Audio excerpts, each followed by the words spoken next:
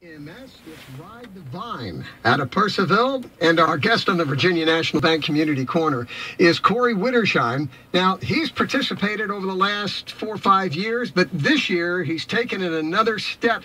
Corey, good to have you with us on the Wink Wake Up Show. Thanks for having me, Barry.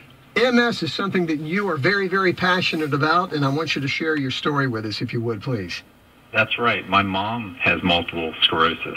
So a couple years ago, I found out about the Bike MS events that the national capital chapter's been having locally. I felt like it was a great way to really get involved and, and raise funds for the society to really make a difference and fight this disease that my mom fights. And this year, thanks to my company, McGladrey, I was able to win their Pursue Your Passion program. So through that, I have $2,500 that is going right to the society. And awesome. I'm going to ride my bicycle from Fairfax to Suffolk, Virginia, near Virginia Beach. That's Holy about, cow. about 255 miles, and I'm going to do it over two days. Now, the typical Ride the Vine that's coming up June 13th and 14th that leaves out of Doukénie Winery in Purcellville they can do routes that range from 17 to 150 miles on the 13th and or the 14th out of Doukénie.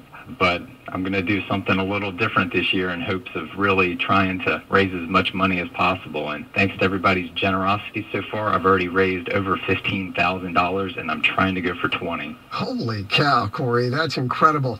How's your mom doing? My mom is doing well she does still battle MS. Uh, it's not something that there's a cure for, but she has a great team of doctors, and they've got it under control as much as, as possible right now. She unfortunately isn't able to work anymore because of the disease, but she's in great spirits. I just saw her this weekend, and she's so touched by everybody's generosity and compassion and drive towards fighting MS. And of course, being a typical mom, she's going to be a worry wart about you riding all the way to Virginia Beach. yeah, she doesn't like the fact that I'm on roads for 255 miles. Exactly. What day do you leave? I'm going to leave on Friday, June 5th.